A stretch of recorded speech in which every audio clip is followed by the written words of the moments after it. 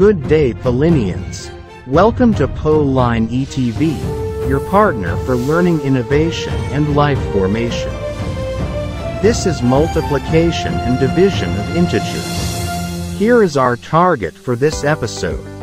The Paulinian learner is able to solve problems involving multiplication and division of integers. Generally, multiplication and division of integers has same rules. For like signs, multiply or divide the numbers and the sign of the answer is positive.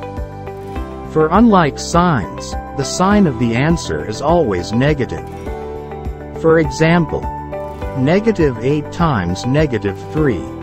The given equations has the same signs. Therefore, the answer is positive. So, the final answer of the equation is positive 24. Another example. 7 times negative 5. The two factors has different signs. One is positive and the other one is negative. So, multiply 7 by 5. The answer is 35. Then, the signs are unlike. Therefore, the final answer is negative 35. Let us have an integration of algebraic equation follow same rule. For example, negative 10 times x.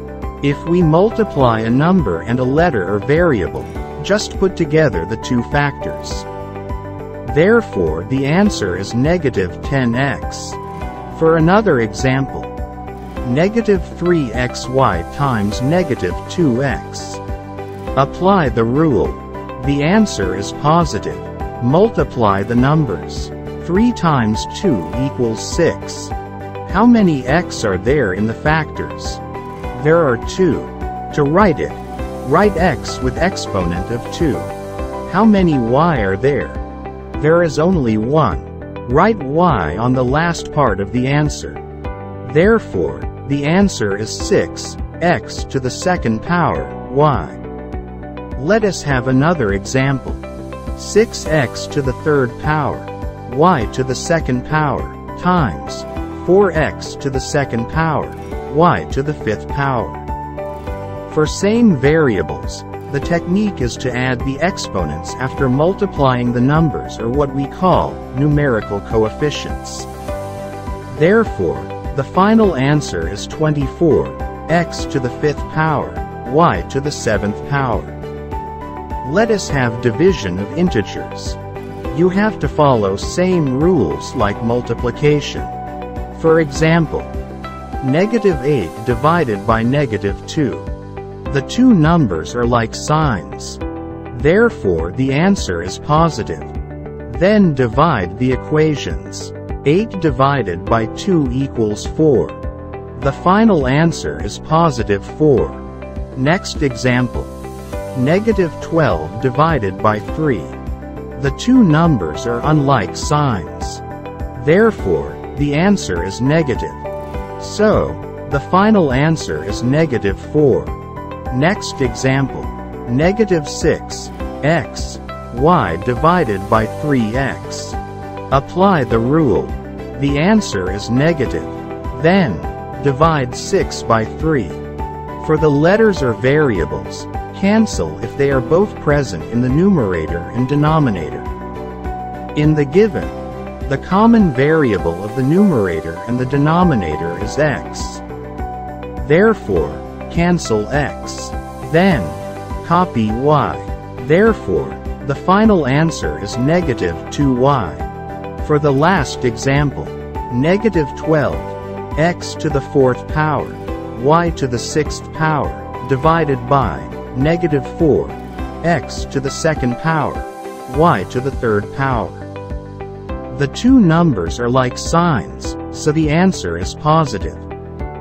12 divided by 4 equals 3. For the variables, subtract the exponents. Therefore, the final answer is 3x to the second power, y to the third power. To master our topics for today, Please bring out any paper then. Answer the following problems for 3 minutes. Write the answers only. The answers will automatically be flashed after 3 minutes.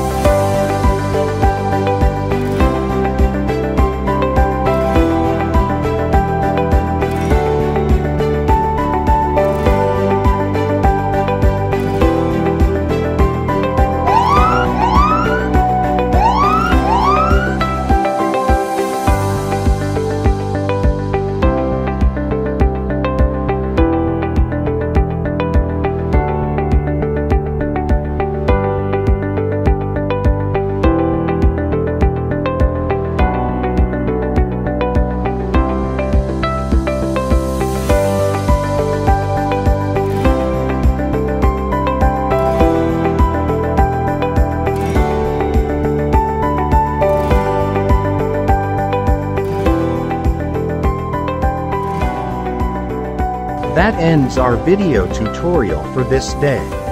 This is Pauline ETV, your partner for learning innovation and life formation. Thanks for watching. Don't forget to subscribe to my YouTube channel and hit the notification bell for more tutorial videos.